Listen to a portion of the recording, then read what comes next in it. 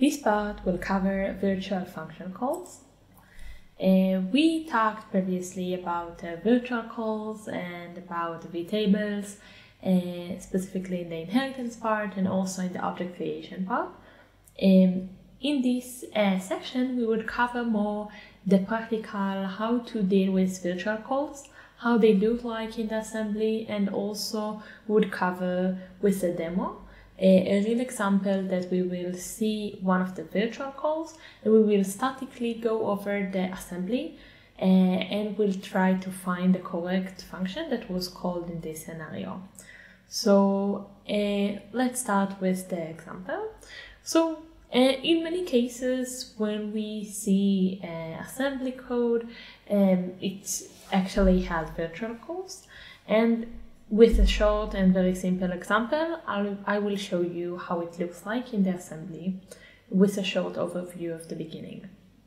So in this uh, code, we have a very simple uh, code that has a person being uh, created and there is a virtual call uh, called uh, print age. This uh, virtual function was defined in the class creation and if we can compile this code and in the uh, function call of the print age, we would have actually a virtual call. So if you want to examine the assembly, so first uh, we have the pointer to the person, which is the, our object. And we examined the structure of the object, so it has the vtable uh, in the first 8 bytes, then we have all the members of the object stored afterwards. Um, but this is in general how the uh, pointer looks like. Um, afterwards, we have the assignment of the vtable to the first 8 bytes of the object structure in memory. So we can see here in this line that the vtable is stored in RAX. Then uh, we can see later that we have a virtual call. Now, in this case, we don't have any members, but uh, we will focus more on the virtual call and how to identify and see what happens. So in this case, you can see that the virtual call is actually taking uh, the um, vtable pointer and then choose a specific offset. In this case, it will be 8 and then it calls this function. So how we can really understand that? So you can see we are using brackets uh, on the RAX plus 8 so what happens is that we access the value in this address and this address actually points to uh, the vtable. So what happens here is that the function that was called, in our case was print age, so it is being taken from the vtable and then it is being uh, executed. Now the offset in this case is 8. It can be like different offset, depends on what function you need. Uh, but this is in general how a virtual uh, function call look like. Uh, we only have like four lines of assembly here, but in a lot of binaries, this is a very, very hard uh, job to understand what exactly is the function that was called. So let's uh, continue with the virtual calls and understand how to examine a more complex uh, assembly code and binary with a short demo. So after we uh, saw some examples uh, and we examined the basic virtual call, and uh, we now will see what happens when we look at a real binary and uh, how we can identify and understand the virtual call uh, that we want to analyze. So here I took uh, an example. When we go over this code, we can see that in here we have a virtual call uh, this uh, virtual call uh, vtable and function is stored in RAX. Um, and in order to understand what exactly is the function that was called in this case, we would need to go uh, further and analyze uh, the binary and the uh, assembly code in order to understand who assigns the um, vtable in RAX and what exactly is stored in offset 8. So in this case, if I mark RAX, I can go uh, back and see that Ix is the return value of this function call in here. So because ix is the return value of this function, we need to understand what exactly was uh, returned. And with this information, we can understand and analyze um, the virtual call that we have. In this case, uh, the function call is uh, using a shared pointer. Shared pointer uh, is something that will not be covered during this class, um, but a shared pointer uh, is a feature that provides the option to have an object that can be shared um, and have a few um, instances. Um, in this case, I will not dive uh, further into uh, how to analyze those shared pointers and what can be done with them, but I would add that this uh, function call would return to us the uh, spaceship uh, object pointer. So in RAX, we would have the pointer to um, a spaceship object, so we can rename this um, local variable to a pointer to spaceship. After we uh, see that this local variable stores the pointer that we need, uh, we can see that further in this line, uh, the IEX pointer would access the first uh, offset and will store it in RAX. This means that this line would take the vtable from the uh, object that we have here and store it in RAX. Later on, like we uh, see in this line, there is another access to the vtable with offset 8 and this would be uh, the function that would be called. So in order to analyze the vtable and the functions inside of it, uh, we would need to analyze the spaceship object first. So you might remember this spaceship object from previous parts of this class. Uh, but I would go over the constructor of spaceship in order to find the vtable and the correct function. So if I open the function uh, window, I can choose a spaceship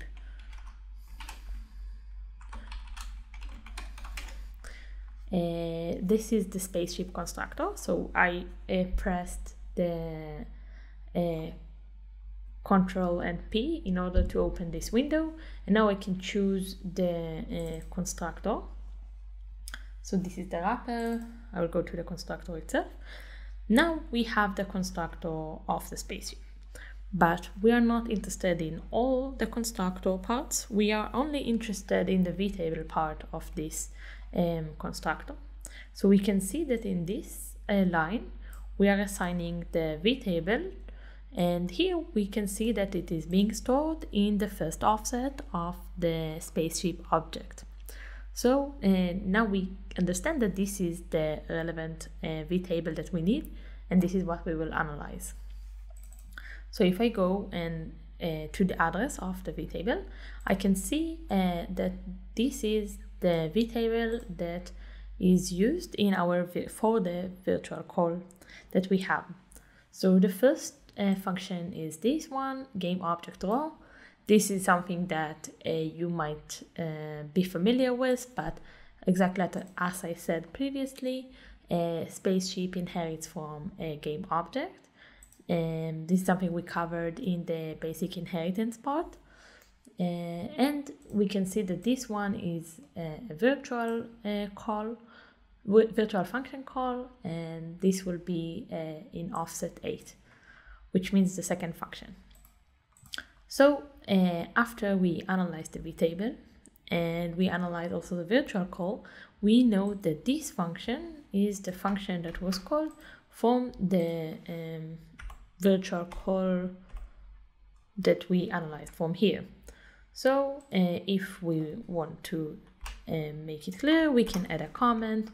Okay, this is the virtual call that was that can be called here and and we can say okay we're done. But because uh, we don't want to leave the uh, assembly code like this even though we understood what function would be used in this case uh, we do want to have a more um, like a clear and more like uh, built uh, solution for those cases when we have the vtables In order to do that, what we can do is to go back to um, the vtable and we can create um, a structure of the vtable and then change the assembly offset to point to the correct function in the vtable. So if we create the structure uh, for the vtable for each iteration and each uh, function call that would use this vtable, we can just like change the assembly to points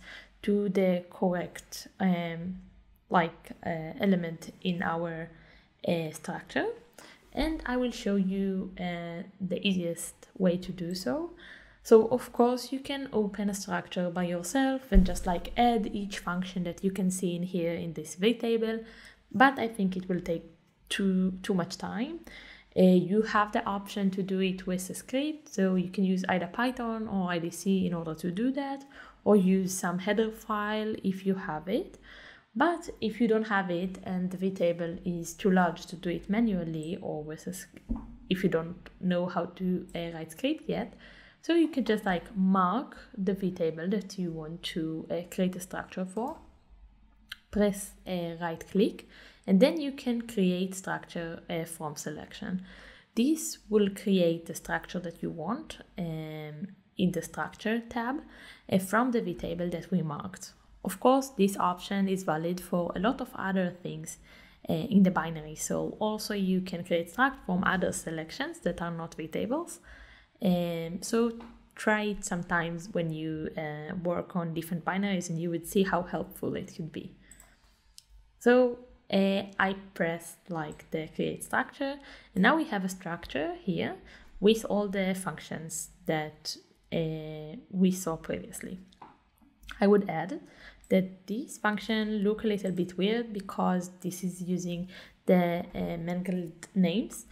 Uh, and if you remember in the beginning of the training, I told you that if we want to see the names differently, we can press the demangled names and then change it to names. It will make like the uh, binary much clearer and you can see the functions in a more human readable way. Um, but um, because we do it automatically, this is how it creates those things. Even though it looks different, you can see that the name of the functions are clear, just like the variables and arguments are all part of this thing. Um, I will not cover how exactly it will be mangled or not, but I think that for an automatic solution, it will be good enough to understand what we are looking at. Of course, again, scripts can always help you get it more clear and much, much uh, easier to understand, but for now we will go with this. So this is just like a random structure with an address. We will change the name so we know what exactly is the structure. So in our case, this will be a struct for um, spaceship vtable. Um, and press OK. So now we have this uh, structure with the virtual um, table. Let's go back. So I will show you how you can use this structure inside your uh, virtual call uh, in the assembly. Oh, sorry. Just move to here. I want to go back to the okay um, so now we are back on the correct place in the assembly. So we have the comment here, but because we created the structure, we can now right click, do a structure offset, then choose uh, this vtable that we created. Again, because um, we already created the vtable, we can see that here we have uh, the name of the uh, virtual uh, code that will be used in this case. And now it is not that hard to analyze this part of the assembly. Now I will add a few parts uh, before like we finish this uh, demo that in this case we only work with static analysis of the binary. If we would want to do dynamic analysis of course that the work would be much faster but in many cases you would not be able to debug and execute your binary if you do malwares or if you do embedded uh, firmware. So sometimes it's not something you can do uh, that easily. And for that, we would also need to understand how to do everything uh, statically. Um, so in this case, uh, what we did, uh, just to summarize everything, we saw that we have a virtual uh, function call in here. We went backward and understood from where the vtable was uh, used and what set up the vtable. And then we just went to the constructor, analyzed the vtable, found the correct function uh, with the correct offset, uh, created the structure, and now we correlated the assembly with the structure we created. So I choose like an example that is not uh, too large and that because we have symbols it's much uh, easier. But think about other cases when you have a lot of virtual calls without symbols, this can be very complex. So virtual calls is a very important uh, subject to understand when you do a C++ uh, reversing because this would repeat itself in a lot of it places in the binary and in most of the binaries like you would have virtual calls so it's important to understand that it's just like a matter of like understanding the whole uh, hierarchy of the object to understand which object is uh, where and where is the constructor. And then from then you can just like analyze the vtable and understand the virtual call so thank you very much. I uh, hope you learned from it and uh, good luck